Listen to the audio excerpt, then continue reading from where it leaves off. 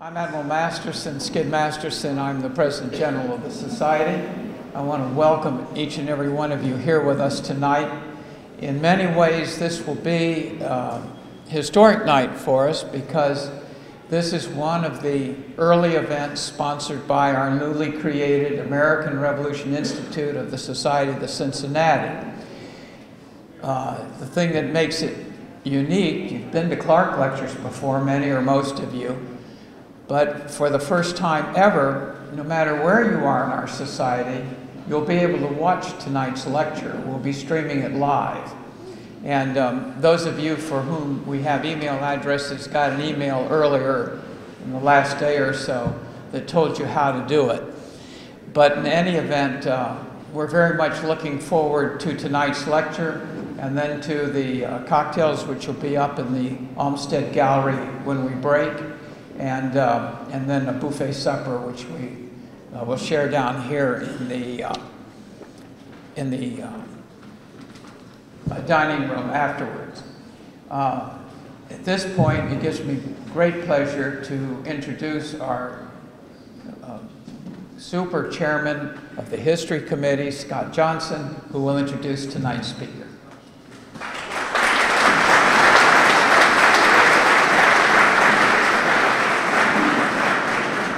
Before I make my introduction, I've been asked to let everyone know in the new C14, there's an article about the new history of the South Carolina Society, The Fabric of Liberty.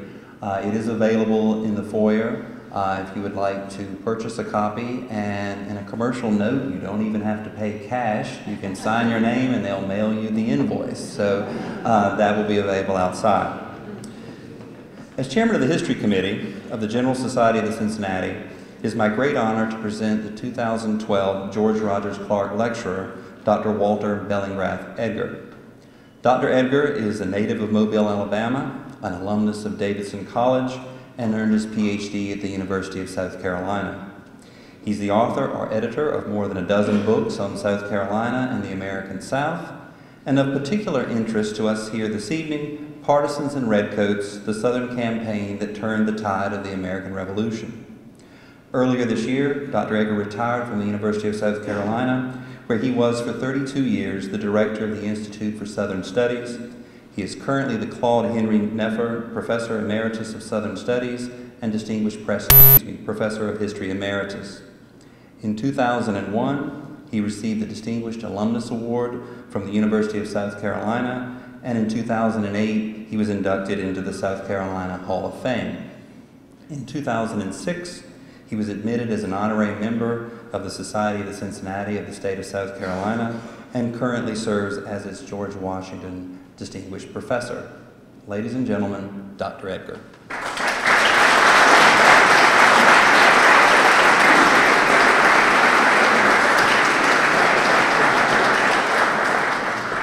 Thank you very much, Mr. Johnson. It's a pleasure to be here tonight. The American Revolution is not only my academic uh, favorite area. It's also getting the word out is something of a hobby horse. I'm going to ride. Now, in American history, especially the story of the American Revolution, has often been neglected in textbooks used in college classrooms for almost half a century.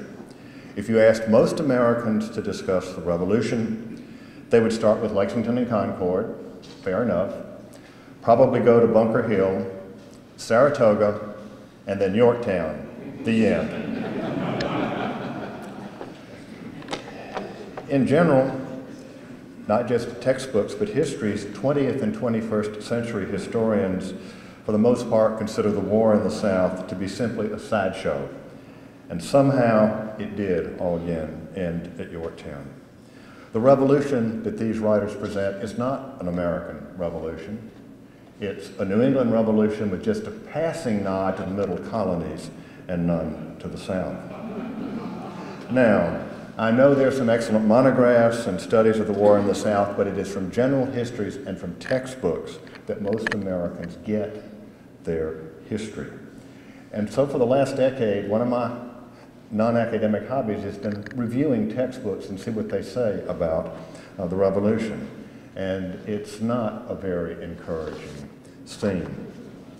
There was one text which was published first in the 1980s and it's been reissued ever since. It devotes five pages to the American Revolution, three to social and political issues, two to the war itself. A more recent text, and by that I mean 2012, just four to the war itself that opens with this statement The course of the war is soon told. If there ever were an understatement, that is it. This same author dismisses, he literally dismisses the battles of Kings Mountain, Cowpens, and Guilford Courthouse as being neither decisive nor particularly important. And even when things are mentioned, there is an imbalance. It's roughly, on an average, in terms of discussion, when they do talk about the war, it's two to one for what happened north of the Mason-Dixon line to one what happened um, south. That's, that's, that's pretty typical. And then in today's textbooks, unfortunately, it's, it's focus and how they deal with the war. One new textbook has a German baroness's account of, bird's eye account of Burgoyne's surrender at Saratoga. Her first person narrative from her diary gets more ink, as the press would say, than the entire Southern campaign. Or there's another text that devotes more space to a discussion of Mel Gibson's The Patriot than it does to Yorktown. or even another where there is what they call side discussions on, and I quote, mercenaries in global perspective. More words, more text than the Southern campaign. And then there is the sad case of a book of readings on American history where the chapter on the American Revolution is entitled was the American Revolution largely a product of market driven consumer forces? now, even when they sometimes get it right, they oversimplify. In January 1781, and I'm quoting now from literally a brand new 2012 text just out this year, in January 1781, at the Battle of Cowpens in northwestern South Carolina, General Daniel Morgan inflicted a costly defeat on Colonel Banastre Tarleton, one of Cornwallis's most effective officers. Cornwallis pursued Morgan hotly, but the American rejoined Greene, and at Guilford Courthouse they again inflicted heavy losses on the British. All of that is true, but that, that's their discussion of the war from Cowpens to Guilford Courthouse. Now, what about Greene's brilliant race to the Dan? The strategy that left Cornwallis's army 230 miles from its supply base in South Carolina, in enemy territory in midwinter without adequate supplies among those that Cornwallis himself described as timid friends and inveterate rebels. Contemporaries of Lord Cornwallis knew the significance of what had happened. Sir Horace Walpole said, Lord Cornwallis has conquered his troops out of shoes and provisions and himself out of troops. Now,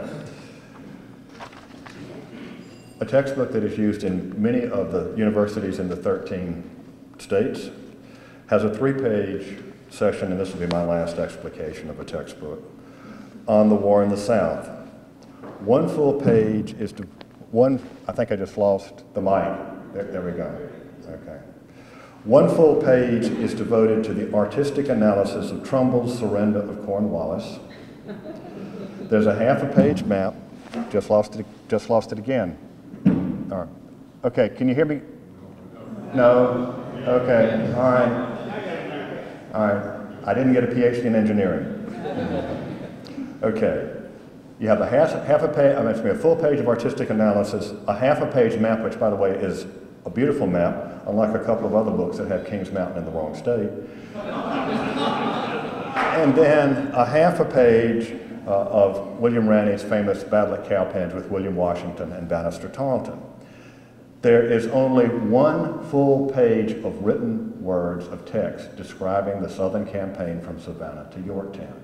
Now, how can you expect people to understand what happened when you oversimplify? Uh, now, alas, the bias of historians is not limited to what happened during the war itself. What happened before the war leading up to the road to independence, whether you start at 1763, 1765, or 1770, and that varies from textbook to textbook. Without exception, almost every text cites examples of colonial protest, petitions to king and parliament, boycotts, resolutions, and individual acts of patriotism from non-Southern colonies. About the only Southern pre-Revolutionary War patriot that gets mentioned at all anymore is Patrick Henry. And then in two of the textbooks, they're more interested in his opposition to Alexander Hamilton and his program after the war than they are to his famous comments on uh, the Virginia resolves. Now, I don't want you to think that I'm demeaning actions that occurred in New England and the Middle Colonies. That is not the purpose. However, the American Revolution was an American revolution. So don't you think there should be examples cited elsewhere? Just for example, if there are some people talk about warning about the enemy, and obviously Paul Revere comes to mind. He was a great silversmith. And he did alert the countryside, but he was one of now, as they find out, he and his fellow riders, then it was like a chain. They, you know, he didn't do it all by himself. If you want to look at a real heroic midnight ride, I would mention Captain John Jouett Jr. of Virginia. His all-night ride in June of 1781 to warn Governor Thomas Jefferson that Banastre Tarleton and his legionnaires were headed to Charlottesville to capture him and members of the assembly is not only a midnight ride, it was through enemy territory. And had he been detained by Tarleton's legionnaires as Revere was detained by the British, there's no question of what Tarleton and his men would have done to somebody they called rebels and wouldn't let him go, go back home. Or what would they have done had they called Thomas Jefferson? And it was still a very narrow escape. And then for my friends from South Carolina, excuse me, there is Jane Black Thomas. I'm not bringing Mrs. Thomas in because she is a woman. I'm not being politically correct. Um, she was over 60 years of age. Now, those of us over 60 don't think that's old today. but believe me, in 1780, over 60 was she was more than a senior citizen. She was tending to her wounded husband, who was a prisoner of war. He'd been commander of the Spartan Regiment at 96, a British strong point. She overheard the wives of some English officers talking about mounting an ambush raid on what was left of the Spartan Regiment in Spartan District there along the North Carolina line. She stole a horse, rode 60 miles across the state, to warn the Spartan regiment, which then ambushed the British at the First Battle of Cedar Springs. Now, again, you say, well, they wouldn't have harmed a woman. Ladies and gentlemen, what the English Army of Occupation was doing in South Carolina in 1780 and 81, gender or age made no difference as to how they treated you because you were, as Cornwallis called, uh, a rebel. But even if you don't want to mention her with her heroic ride as for that part, most textbooks now want to include examples of what women did in the revolution. And I will, I can't remember the exactly, but I'd say at least 80 to 90%, Abigail Adams gets a mention, okay? I think what Ms. Thomas did is pretty nice. And then what about the, what about the mother of our seventh president? Elizabeth Hutchinson Jackson. Her husband had already died, but after the British occupation and those horrible POW ships had been opened in Charleston Harbor, she volunteered to go to Charleston and nurse ill Americans on board those war hulls.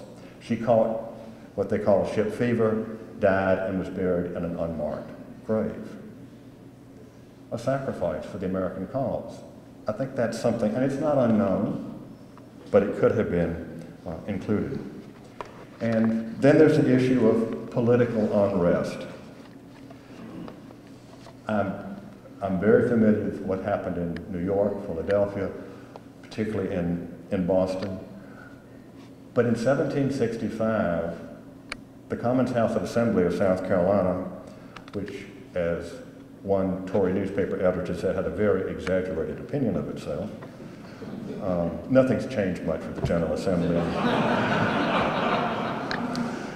But in 1765, they passed a series of more than 20 resolutions, including one that said, in taxing ourselves and making laws for our own internal government, we can by no means allow our provincial legislature to be subordinate to any legislative power on earth. That's treason.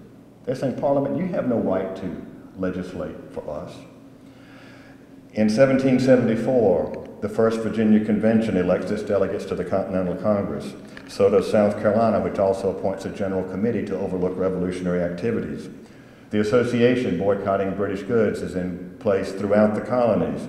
And there's that famous cartoon in one of the English journals that pictures the ladies of Edenton, North Carolina, and their boycott of tea. That used to be a staple in American history textbook, that cartoon of the ladies and their tea party.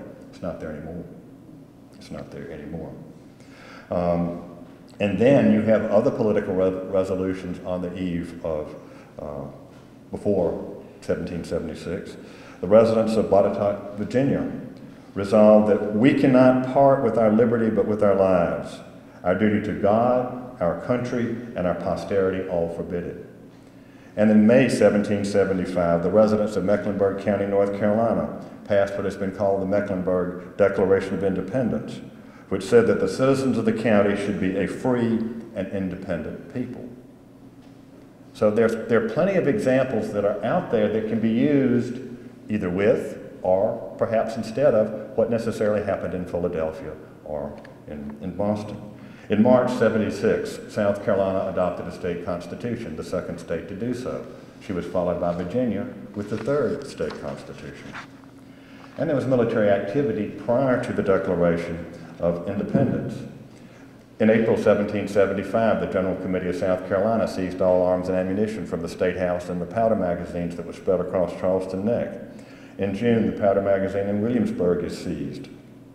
In November 1775, there's a fight between Tory militia and what is now the General Committee or the part, uh, Patriot uh, occupation of Star Fort at 96 in South Carolina, followed by a very bloody campaign called the Snow Campaign of December 1775 because the snow literally stayed on the ground for weeks at a time. And that was fought by militia from North and South Carolina and pretty well put the kibosh on Tory activity in the backcountry, at least for a while. And even more importance, that snow campaign snuffed out a grand plan by Lord William Campbell, the last royal governor of South Carolina, to mobilize the backcountry, not just in South Carolina, but in North Carolina and Georgia, against the revolution in, on the coast.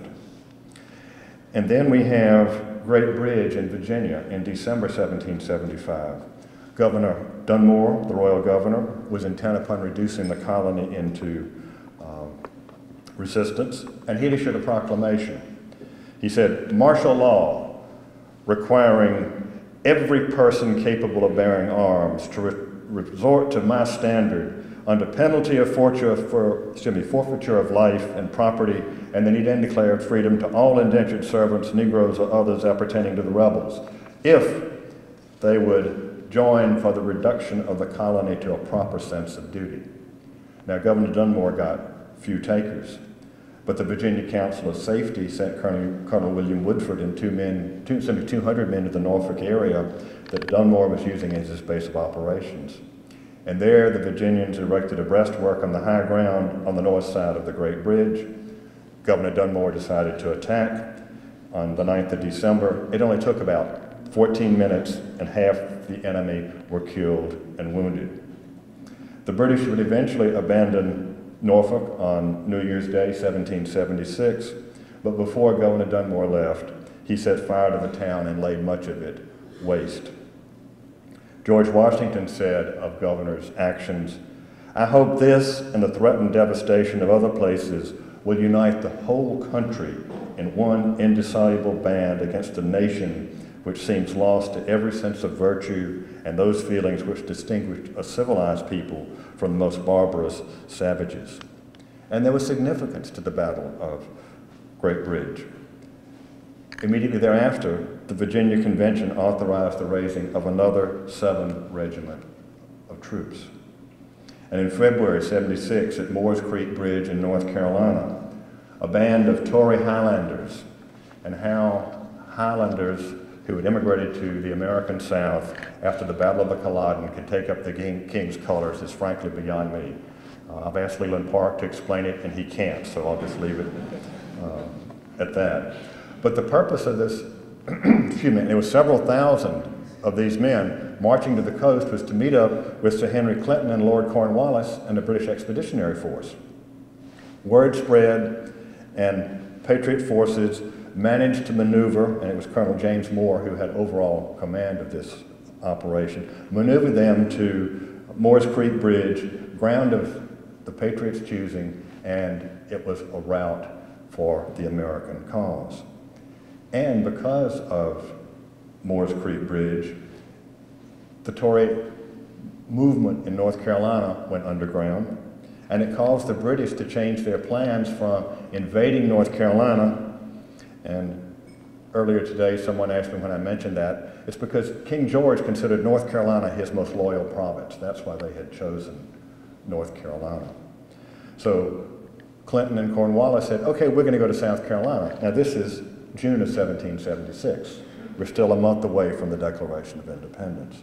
And for a month, the British maneuver off Charleston Harbor. Sir Henry Clinton, like Dunmore, issues a proclamation denouncing this most wicked and unprovoked rebellion in South Carolina, the succession of the crimes of the inhabitants, the tyranny of the colony's Congress and committees, the era of an infatuated and misguided multitude whose duty was to forthwith help put down their arms against the king. And he said, Because of my sense of humanity, if you come to the king's service, you will get free pardon. Now, Governor Clinton's proclamation had no more effect than did Lord Dunmore's. The British launched a sea and land attack against Patriot positions on Sullivan's Island, where the unfinished sand and palmetto log fort was commanded by Colonel William Moultrie. Uh, the enemy had landed on a neighboring island, and the plan was it, I say, it was an amphibious. It wasn't just a, bombardment by sea, which certainly did take place. They were landing troops that were going to cross Breeches Inlet and get on the island and come into the back of the fort because it was unfinished. The backside of what we now call Fort Moultrie had not yet been completed. But they hadn't counted on um, a young group of men from Orangeburg District. They were part of a ranger company commanded by one of my local heroes, Colonel William Danger Thompson. His men called him Danger. He was not somebody you wanted to mess with. But they were members of the South Carolina line. And their sharpshooting kept the British from crossing Breeches Inlet and had as much to do with the saving of Fort Moultrie as did the brave garrison who withstood the bombardment. Now, the significance, Congress was very, they printed a, you know, minted a medal in honor of Sullivan's Island. And more importantly for General Washington and the new continent, emerging Continental Army, that do-si-do outside of Charleston kept seven regiments of British troops in the South for several months. And it thwarted British, thwarted, no? okay. Seems, I'm sorry, it seems to go in and out. That thwarted Okay. All right. Something. Okay. All right. It's back. And the whole idea of the loss at Sullivan's Island, the British lost three ships. And just not just the battle. It kept them from deciding to invade South Carolina at that particular time. And so, along with Moores Creek Bridge, it put the Tories into deep hiding in the South. Now, please note that all three of these victories, Great Bridge, Moores Creek Bridge, Sullivan's Island, take place before America officially declared independence. After independence, from Georgia to Virginia, July to October 1776, the Cherokee went on the war against the frontier, and the two Carolinas, Georgia and Virginia, in return, uh, retaliated against Cherokee settlements eventually in the spring and summer of 1777, forcing the Cherokee to a peace treaty. In July 1778 to February of 1779, George Rogers Clark staged his successful campaign against Indians in present-day Ohio, Indiana, and Illinois, culminating in the capture of the settlements at Kaskaskia, Cahokia, and Vincennes. Sadly, except in only one or two textbooks that I reviewed, do Clark's exploits get any mention whatsoever. Now, let's turn to what we call the Southern Campaign. Cornwallis called it his great campaign, his grand strategy. February, beginning in February 18, excuse me, 1780. There hadn't been any, much of any military activity along the coast in the South uh, between 76 and 78. But English politics intervened. There was growing opposition to the war in Parliament. The government of Lord North needed a big victory for political reasons. Why the southern colonies? Well, first of all, King George was convinced that there were lots of loyalists in the South. His royal governors had told him so. All they needed was for the British to land troops, and these thousands of loyalists would come out of the woods and join His Majesty's uh, army. Also, the southern coastline made it easy to use the Royal Navy in support of military operations, and that's, that's a pretty key point. And if you looked at the southern colonies within the empire economically, in terms of trade, the southern colonies were the most important. By 1770, Little South Carolina, one of the smaller of the 13 colonies, amounted or accounted for 29% of the value of trade within the empire from the 13 North American colonies. You add in the other colonies from the South, and you can see why they're looking at that area. It's important to get the southern colonies back. In fact, economic historians have determined that the three richest areas of British North America in 1774 were located, all located in the South, South Carolina, Maryland, and Virginia. The English generals over here, Clinton and Cornwallis, bought into the plan, and their plan had stages. And they actually did, Cornwallis really did put together a plan with he and Clinton. Well, they argue who actually did it. It depends upon whether it succeeded or not. if it failed, the other one said it was their idea uh, on a particular part of it. The first plan was to take Savannah, then the interior of that colony, and establish royal government.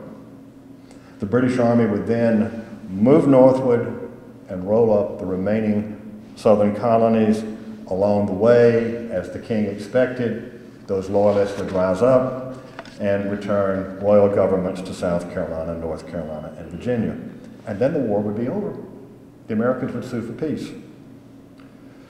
Well, the British plan began in Savannah in 1778, and it began brilliantly for the British. In November, they landed on the Georgia coast and, greatly outnumbering the small American army, overwhelmed the Patriots completely. And what little opposition to the British remained in places like Ebenezer and Augusta in the interior were easily brushed aside. The royal governor returned and was reinstalled. Once again, royal government, Georgia was a colony in the British Empire. Part one of the plan had gone exactly as it was supposed to do. And a military gentleman, I can tell you, ladies, that's very rare when things go exactly the way you expect them. Well, besides the fact that it went the the British wanted it to do, all of a sudden the Continental Congress realized they had a problem. They hadn't really paid much attention to the Southern Theater up to this point.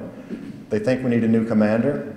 They send in General Benjamin Lincoln as the new commander of the Continental Forces in the South.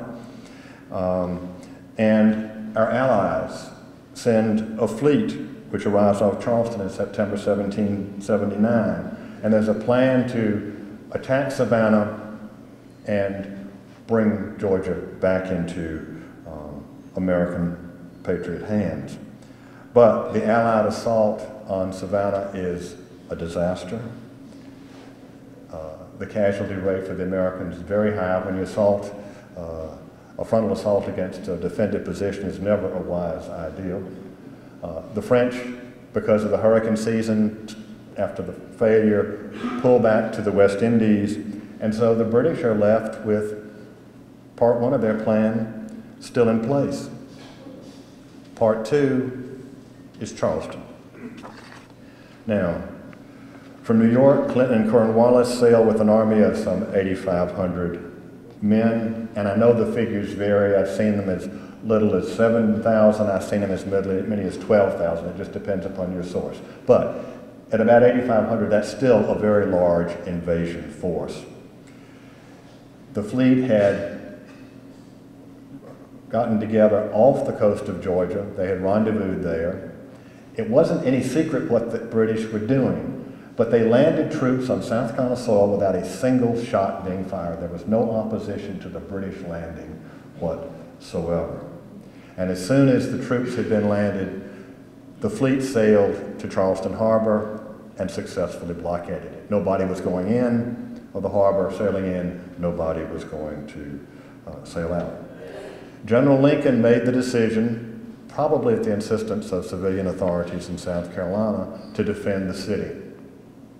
If you read Cornwallis's memoirs and those of some of his officers as they slog, took them almost six weeks to get to Charleston, to the bank of the Ashley.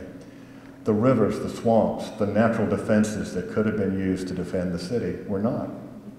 As after the city fell, which eventually it did after a very traditional siege, uh, English said, well, it was like putting a stopper in a bottle. Because Charleston, of course, folks, is on a peninsula. And if you, if you fortify the peninsula, which is what Lincoln did, all the British had to do was blockade the harbor, move their troops around, and begin a traditional siege warfare, which they did, very, and just eventually bombard the city. And on May the 12th, 1780, 5,500 American men in uniform surrendered to um, Lord Cornwallis and Sir Henry Clinton. And that included, by the way, most of the Virginia line, which was in Charleston at the time. After Charleston surrendered, so did the American forts in the rest of the state. Charleston was a disaster for the American cause. Up until Charleston, yes, losing Savannah was bad, but America kept saying, look what happened at Saratoga. Well, after Charleston, memories of Saratoga in terms of public relations were wiped off the map. You have just lost what the imperial press would talk about this, the conquest and complete reduction of this opulent, populous, and very important colony of South Carolina. Part two of the plan is going just like it should. To many Carolinians, the American cause seemed lost. In a letter to Lord Germain, Secretary of State for the Colonies, Clinton wrote, There are few men in South Carolina who are not either our prisoners or in arms with us. But in six weeks, all of that would change dramatically as the British occupation of South Carolina began to unravel. And it unraveled first at a little settlement area on the border of the two Carolinas called the Waxhaws. Colonel Abram Buford, with his Virginia Continentals, was marching south to relieve or reinforce Lincoln in Charleston. He heard about the surrender. He turned around and was marching back uh, north when his uh, 200 men were overtaken by Banastre Tarleton and his legionnaires, and there, those 200 men uh, tried to surrender, and many were cut down and stabbed, bayoneted, sabred in, in cold blood. This gives rise to what is called in the deep south part of the colonies, in the two Carolinas, Tarleton's Quarter. You know, in the 18th century, if you were surrendering, you asked for quarter. Well, the Americans asked for quarter and it was not given. And so, in many a description, a diary or a letter in the conflicts, whether it's a, a major battle like Kings Mountain or whether it's a small skirmish at Thicketty Ford or Cedar Springs, when the other side tried to surrender, frequently the reply would be, You will get Tarleton's quarter. Tarleton's brutality and that of the British Army of Occupation turned what seemed to be a conquered province into a hornet's nest. Now, Cornwallis had some other successes after uh, Charleston. Clinton sailed back to New York, leaving Cornwallis in charge. The Battle of Camden. General Gates, newly installed commander of the army in the South, is pushing his troops to meet with the British. He wants a quick victory. Cornwallis is pushing north to go after Gates. They stumble into each other in Camden. Uh, the Ameri- it should have been, Gates really should have withdrawn. He didn't. He forced the battle, the Continental Line held, the militia did not, and it was a rout. Nobody ran faster, sadly, than did General Gates, who didn't stop till he got to Hillsborough. His men called him Galloper Gates.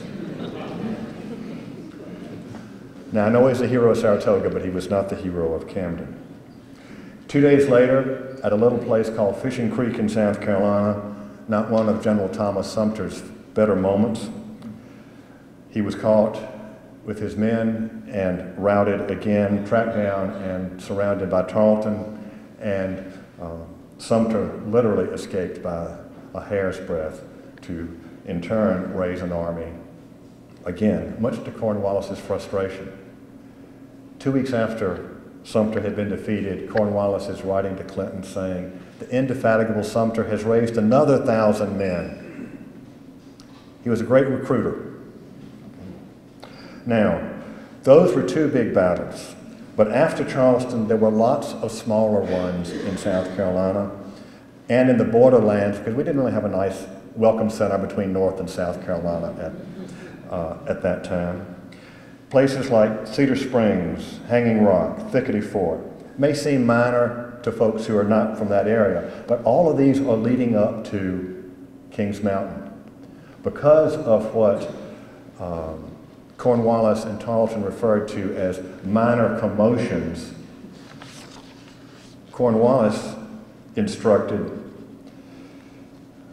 Major James Ferguson to raise a loyalist militia, and he did, a thousand men, to put down these commotions. Ferguson issued two proclamations, one to the men of Western North Carolina and what you would call, at that time, Western North Carolina included Eastern Tennessee, the over the mountain area.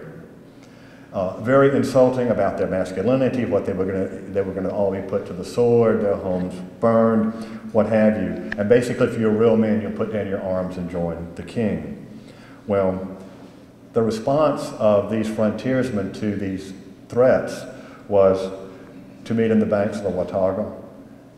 A thousand of these over mountain men crossed over the mountains into western North Carolina they soon met up with militia from the two Carolinas, Georgia, uh, and Virginia.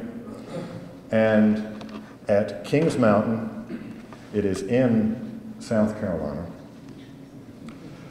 they surrounded Ferguson and his men atop this particular piece of terrain. It's about the size of a present day football field. Now, Ferguson was so arrogant, he did not believe that the rabble would attack him in his position.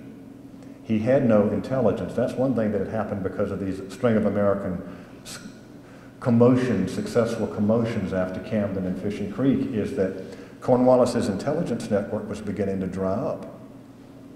He's on Kings Mountain, does not sit in a defensive position, and the Americans on command, after two days of heavy rain, charge up the hill and take Ferguson and his entire command. A thousand men are put out of action, either killed, wounded, or prisoners of war. Sir Henry Clinton's remarks in his memoirs about Kings Mountain said, This unhappily proved the first link in a chain of evils that followed each other in regular succession until they at last ended in the loss of America. General Washington said, King's Mountain is the proof of the spirit and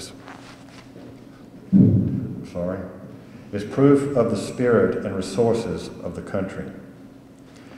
The significance of this is Cornwallis has to withdraw from Charlotte, North Carolina, back into South Carolina to regroup, and his planned invasion of North Carolina and Virginia is put off for a year because of Kings Mountain. When he takes to the field again, he's going to more than meet his match in terms of military strategy and tactics in the person of Nathaniel Greene. Greene comes south. Uh, in Hillsborough, there is a remnant of what had escaped from the Battle of Camden. He brings with him Daniel Morgan, and they begin to rally the local militia in and around the Charlotte area. And because the British have just left Charlotte, there's, no, there's nothing there to feed his army. So Greene decides he's going to do something a little bit daring. First of all, he moves the main portion of his army and his headquarters to Cheraw, South Carolina, just across the line, where he can get food and fodder, and also threaten Camden, which is the most important British outpost in the, in the backcountry. And then he sends Morgan and a, and a portion of his army westward around the flank of Cornwallis's army, probably heading towards 96. At any rate, as you know, Cornwallis decided to div- divide his forces to meet this American threat. And at Cowpens in Spartan District, South Carolina, Banastre Tarleton leading that particular wing of Cornwallis's army and Daniel Morgan's men clash. Now, folks, it is called Cowpens because it literally was a cowpens. It was open terrain. Also, by this time, because of, again, the commotions, militia had been flocking to Morgan and to Greene, but particularly to Morgan. Morgan chose it because if the word went out, go to the cowpens and meet up with Morgan, people knew where Hannah's cowpens were. Um, and the Battle of Cowpens, I'm pleased to say, is still being studied at the United States Military Academy in terms of military tactics. Daniel Morgan knew his men, he knew his enemy, and he knew the terrain, and he knew the strengths and weaknesses of particularly his men and the enemy. He ordered the militia to fire twice and retreat, hoping that the British would follow, thinking that that was again going to be an, an easy route. Uh, and he knew that because Tarleton was so impetuous. He, again, looking at the mind of his, his foe. This is the only pitched battle, as I'm sure you know, in the American Revolution where British troops ran from an American army. Tarleton and his feared British Legion were totally defeated, and it was, noted historian John Selby, one of the most brilliant victories of the war. Before Cowpens, and before Tarleton lost a thousand effectives at Cowpens, Cornwallis's army was between 3,500 and 4,000. So 25% of that army is now gone after Cowpens. And in addition, Tarleton did escape by the skin of his teeth, but he destroyed all of his military supplies and materiel to keep them from falling into rebel hands. The significance is, once again, success brought out fighters for the American cause, and it sent a message to the Tories you better still continue to lay low. And I mentioned that intelligence was bad before Kings Mountain. After Kings Mountain and Cowpens, for the British, it was non existent. And that explains, in many ways, how once Morgan joins up with Greene and they make that race to the Dan, they're always one step ahead of Cornwallis. Now, the race to the Dan in midwinter And again, it was a very cold winter, uh, 1780, 1781. In fact, in February, Greene wrote to Washington, the miserable situation of the troops has rendered the march the most painful imaginable. Several hundred of soldiers marking the ground with their bloody feet. However, our army is in good spirits, notwithstanding their sufferings and excessive fatigue. Now, once he successfully crossed the Dan River, he was able to get reinforcements, let his army rest. Cornwallis, not being able to cross the Dan, turned back and Greene and Morgan let him go, but then shortly thereafter, the vanguard of the revitalized Continental Army in the South crossed the Dan, and in the vanguard was Lieutenant Colonel Henry Lee. Cornwallis had gone from being the hunter to the hunted. And just as Morgan had chosen his battleground at Cowpens, so Greene chose his battleground at Guilford Courthouse. In fact, he devised a plan that was very much like Morgan's. It didn't work out quite as well. It was a heated battle, an hour and a half, and at one point, Greene withdrew his army from the field because he knew it was more important to keep his army together than to keep a piece of terrain. This is one of those men who seldom won a battle, but he won the war in the South by keeping his army together. Cornwallis held the field, but it was a costly victory for him. He lost another fourth of his men at, at uh, Guilford Courthouse. In Parliament, analogies were made to the classic battle, uh, the Pyrrhic victory, another such victory, and we are undone. In the space of two months, the British Army in the South has been reduced by more than half. And ladies and gentlemen, it is already a beaten army. Cornwallis is giving up on the Carolinas. His biographers called Guilford Courthouse a victory, but then add, so dearly bought that Cornwallis could never resume the offensive again in the Carolinas.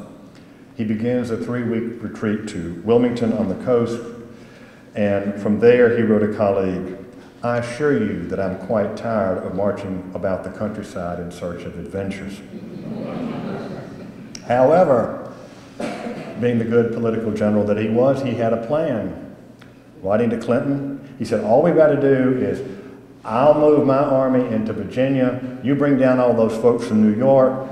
We'll again come to Virginia, and we take Virginia. The war will be over. Well, he had hoped that Greene would follow him into Virginia and then they'd have another battle. Greene didn't do that. He turned back to South Carolina. And at Hobkirk Hill, which is near Camden, there was a vicious fight between uh, the new Southern Army and uh, the British there near Camden. It was pretty much a draw, but again, those in South Carolina that were supposed to hold the territory for the king could ill afford their losses. Every man lost was a man that could not be replaced. And even though they won at Hobkirk Hill, technically, three days later or four days later, they abandoned Camden and ordered the evacuation of most of their posts in the interior. Greene decides that it would be a good idea for Francis Marion, Andrew Pickens, Thomas Sumter, and Henry Lee and their mobile forces to move around the region and capture, pick off outposts one by one. And they did from Augusta to Orangeburg to Fort Motte to Georgetown. Greene had several more battles in the South. The siege of 96. Uh, he was on the cusp of success when word arrived, arrived of British reinforcements coming from Charleston. So once again, he withdrew to save his army. And then for the summer, he took a respite. It was nice to take an R&R back in those days. You could do it in the winter, you could do it in the summer. He chose the summer to be in the high hills of the Santee, which were elevated territory, healthful, um, for his army to recoup, re-equip, and get larger.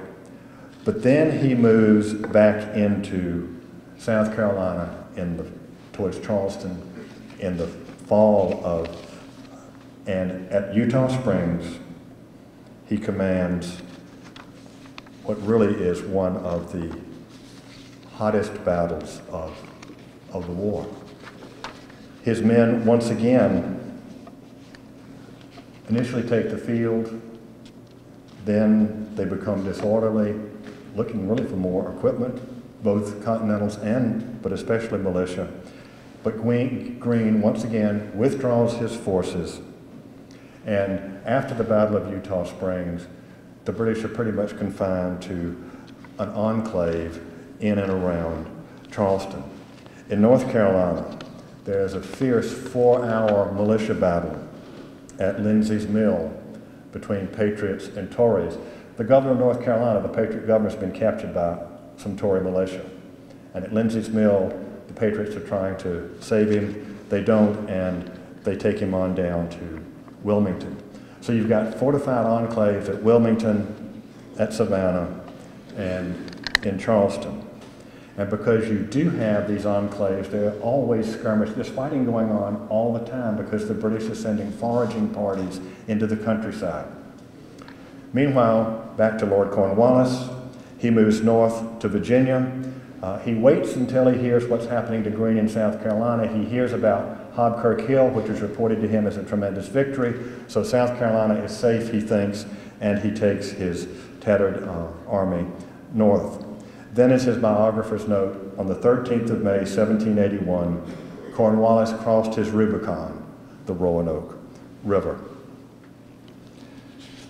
The campaigns in and around Yorktown are familiar to you all. The great victory, the surrender on the 19th of October. But I think the reaction to that is what people seem to think the war is over with Yorktown. Lord North said when hearing the news, Oh God, it is over. But, ladies and gentlemen, it wasn't. The fighting continued in the South for another 18 months. The enemy still occupied not just New York, but Wilmington, Charleston, Savannah, St. Augustine.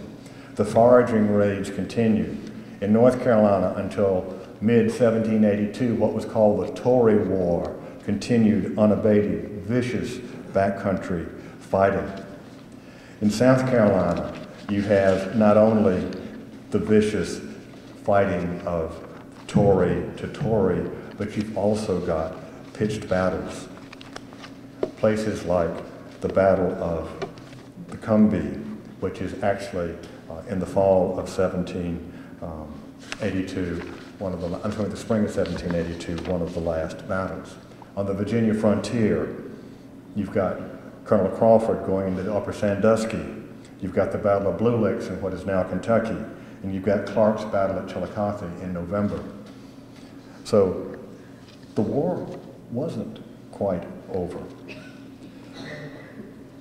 The British abandoned Wilmington in 1781. They abandoned Savannah a little bit later. Charleston is the last major enclave.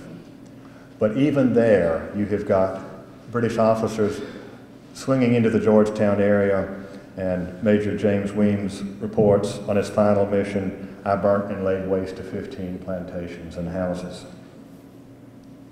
On December the 14th, 1782, the British evacuate Charleston more than a year after Cornwallis's surrender, seven years after the first fighting in the state, and the war in the South is finally over.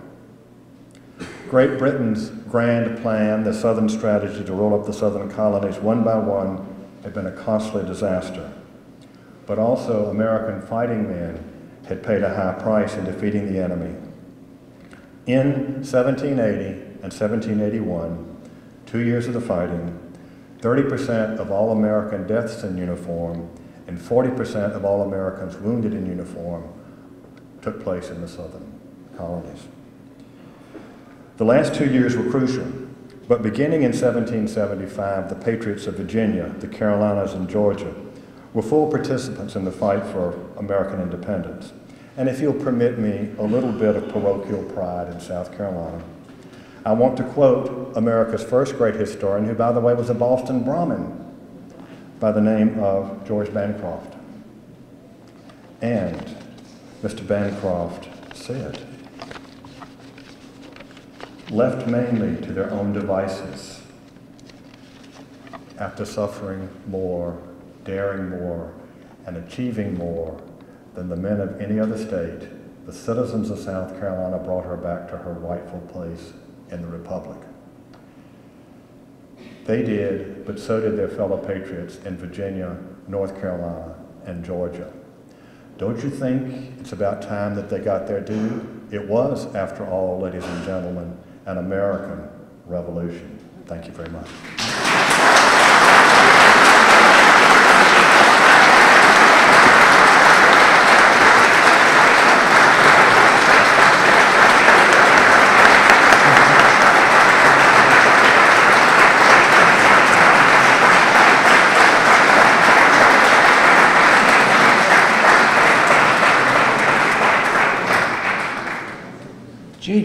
Do we have any openings in the South Carolina Society? I'm ready to switch.